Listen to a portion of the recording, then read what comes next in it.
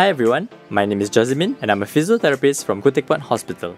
Today, I will share with you on how to stay active by exercising at the community fitness corners and the parks. There are many benefits to being physically active and exercising regularly. This includes moving better when performing daily tasks, preventing and managing chronic diseases such as diabetes, high cholesterol and high blood pressure, losing and maintaining weight, improving your psychological well being, and reducing the risk of some cancers. There are three main types of exercises aerobic exercise, strength exercise, and flexibility exercise. As these exercises have different benefits, it is important to do all three. In addition, seniors should also engage in balance exercises to reduce the risk of falls. Aerobic exercises involve large muscle groups moving repetitively. This will increase your breathing and heart rate. When performed regularly, aerobic exercises can improve your stamina and heart health. Some examples are brisk walking and jogging at the parks, using the stepper machine at the fitness corner, the elliptical machine, cycling on the exercise bike, and the arm cycle machine. When choosing an aerobic exercise, it is important that you are able to sustain the exercise for at least 10 minutes. Panting slightly but not too breathless, able to change the intensity of the exercise to make it easier or more challenging, and the exercise should not cause you any additional joint pain. If you have been exercising on a particular exercise machine for several weeks and your breathing becomes easier, it is likely that the intensity of the exercise is not enough. Some exercise machines at the fitness corner have an adjustable knob that allows you to make the exercise easier or more challenging. Apart from the exercise machines, you can progress your aerobic exercise by brisk walking up a slope or include some stepping exercises. Plan your exercises weekly and begin with a duration that you are comfortable with. For example, try brisk walking for 20 minutes for 2 days in a week. Then, try 20 minutes for 3 days the following week or when you're ready. As you progress, you should aim for 150 minutes of aerobic exercise on most days of the week. To monitor the intensity of your exercise, you can use the rate of perceived exertion scale. The RPE scale is commonly used to measure a person's exercise intensity. As it reflects how easy or difficult you feel about an exercise, it will vary across individuals. If you are new to exercise or have just recovered from illness, Start simple and go easy. Begin with a light intensity exercise that allows you to speak full sentences. The exercise should also be easy enough for you to sing. As you progress and be regular with your exercises, you should aim for moderate intensity exercise. At this intensity, you will be breathing faster than usual. You may be panting slightly, but you can still speak full sentences. However, you will not be able to sing. If you are generally in good health and have been exercising very regularly for the past 6 months, you may consider engaging in some vigorous intensity exercise. However, please consult your doctor or physiotherapist. Here is a summary of the general guidelines for aerobic exercise.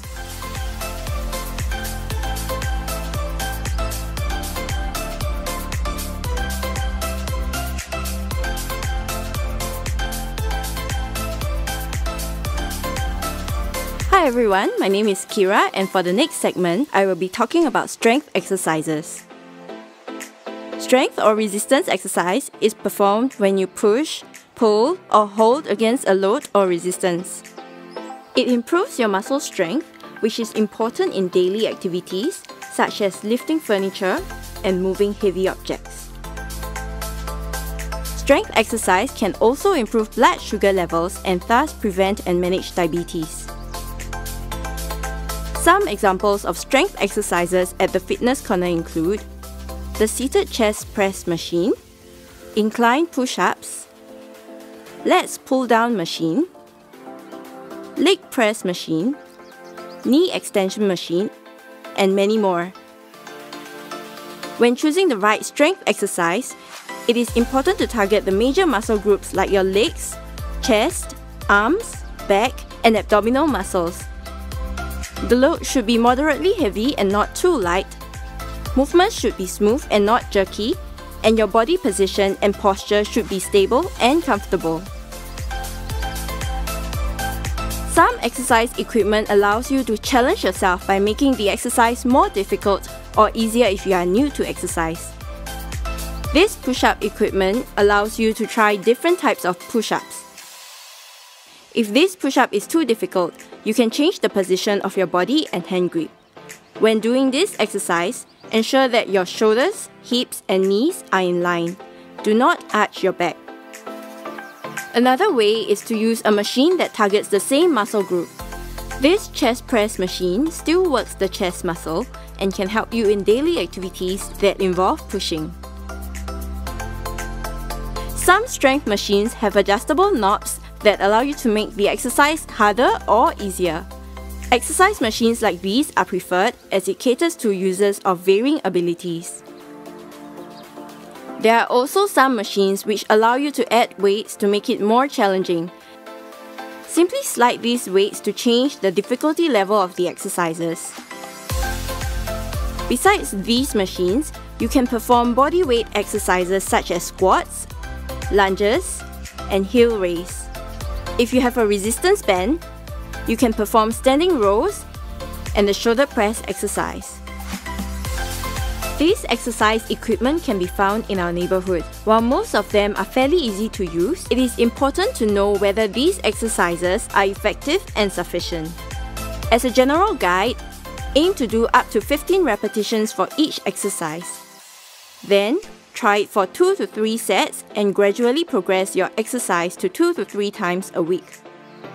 Once you can perform the exercise for 2 to 3 sets of 15, it is advisable for you to progress to a heavier load or change to a more challenging exercise for the same muscle group.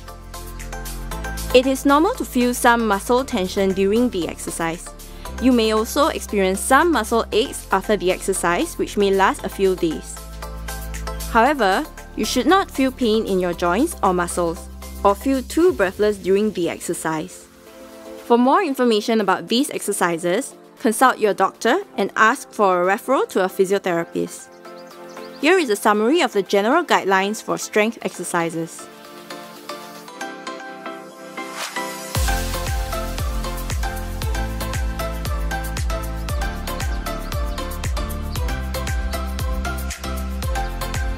The last type of exercise that we will be going through today are flexibility exercises or stretches. Flexibility exercises aim to improve joint range of motion and reduce muscle tension.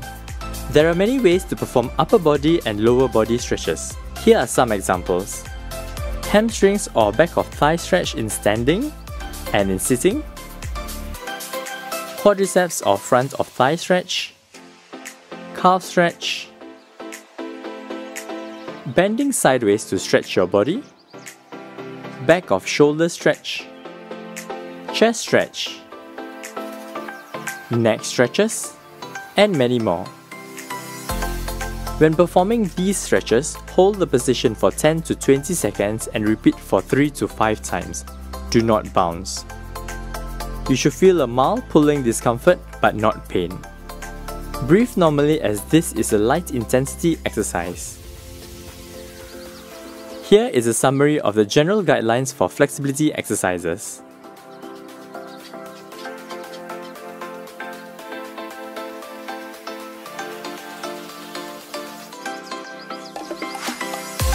Exercise is for everyone, but it is important to choose the correct exercise depending on your health goals, how mobile you are, and whether you have any pre existing medical conditions. If you are unsure, ask your doctor or physiotherapist about which exercise is suitable for you. We encourage you to take your blood pressure before and after exercise. If you have diabetes, please ensure that you take your blood sugar levels.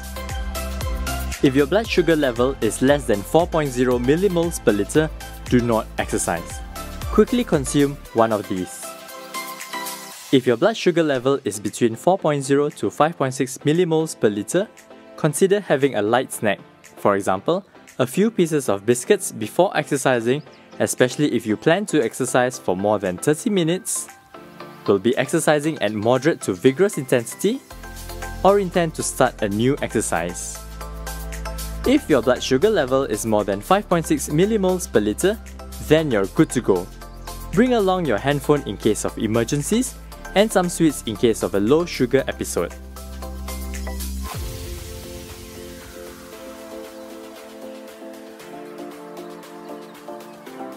When visiting the fitness corners, we encourage you to bring a small bottle of hand sanitizer to clean your hands before and after exercise for hygiene purposes. Please also refrain from touching your face. So, what are you waiting for? Visit your nearby fitness corner and check out the available machines. With that, thank you for watching. I'm Jasmine. And I'm Kira. See you next time. Goodbye. Goodbye.